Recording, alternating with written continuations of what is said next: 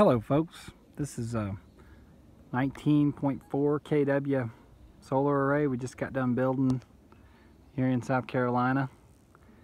This is a very uh, cutting edge system for 2017.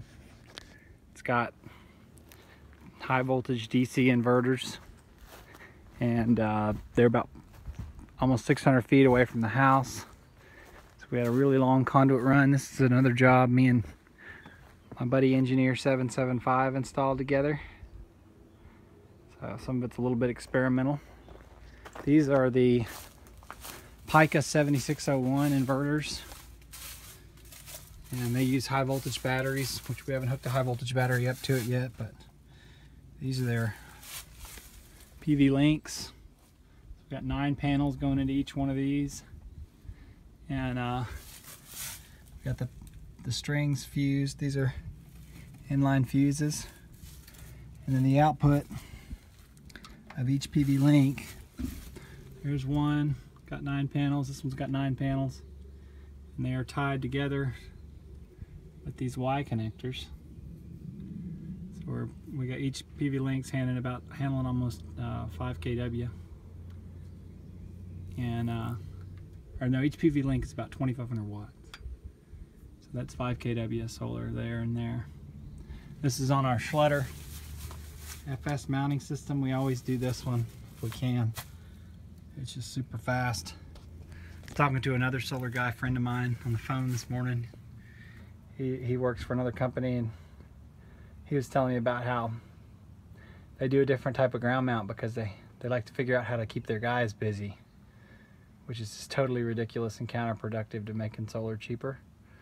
So this is uh, the fastest, cheapest way for us to get a system in that's super strong and looks super good. It does require a big digging machine, but those are a dime a dozen. You can run it at Home Depot.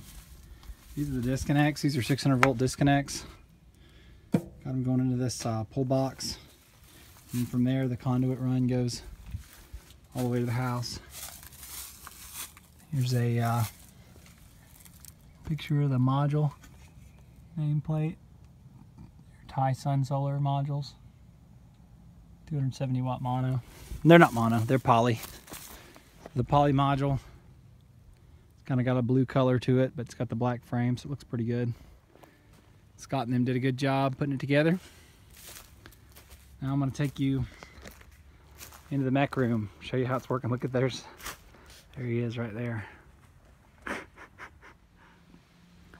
If you look through those trees in the far distance, you can see the corner of the solar array. So here's the trench. People are always, not always, but I get this comment a lot on estimates that the solar is too far away from the house where they would put it so they can't do it. And that's just not true. You go high enough voltage, like we're coming in at 380 volt DC, Here's our pull box. Bunch of gravel in it. Bunch of split bolts. Oh, those are Polaris lugs. So when you go at this high voltage, you can do that. No voltage drop.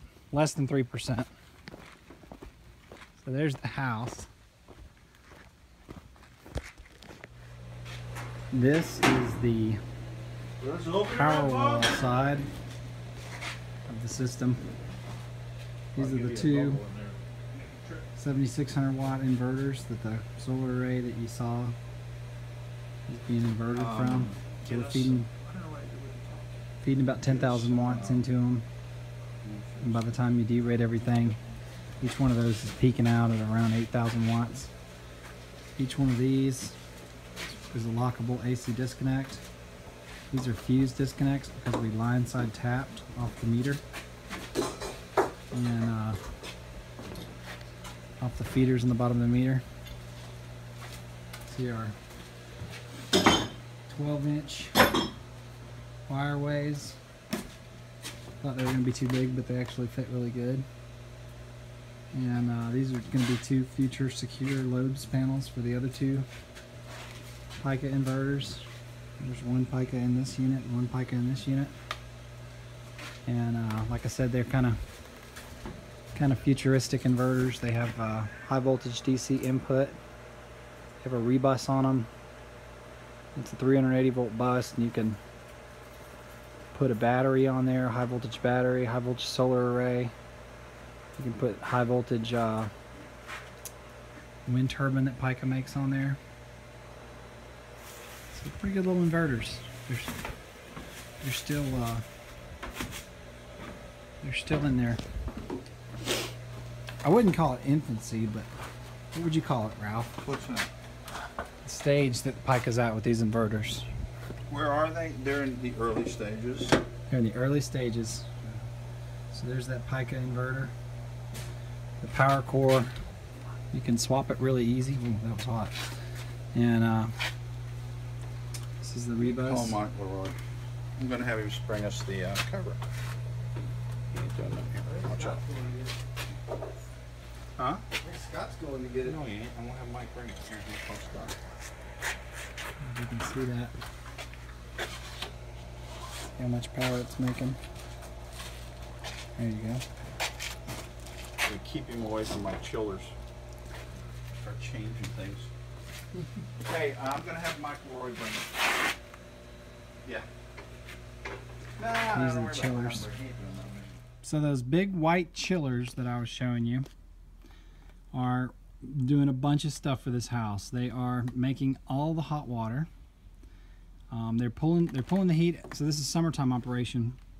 They're pulling the heat out of the air in the house, and they're focusing it into the hot water heater and and making hot water. When the hot water heaters are satisfied, they switch around and they start filling one of these tanks with hot water. So he's able to run his chillers full bore when the sun's out and harvest the solar energy in the form of heat and cool for the house so he doesn't have to store any electricity in a battery to make hot water cool air or heat in the winter which is pretty awesome so he can he can get these tanks up to 120 degrees and he can get them down to close to freezing he's got glycol in there so it's he can actually get it down below. So he's these are imagine these as big solar thermal batteries. So he's so he's going to run that those chillers all day long, full bore, and keep store a bunch of energy in these two uh, in these two CalMac tanks. See that one right there says Ice Bank, and that's how he's that's how he's heating and cooling his house. He's got a he's got a coil in his HVAC unit. Ow, bug just hit me. Got a coil in his HVAC unit that he pumps the water through. Bunch of heat exchangers. Super complicated, but in the end, it's a pretty cool system that um, I, I I don't think anybody else is even thinking about. This is a beautiful job too. Show you the mountains here. Awesome view of the mountains. That's I can't remember what the name of that mountain is over there, but something Table Rock or something. So really cool job. Very thankful to have a job like this.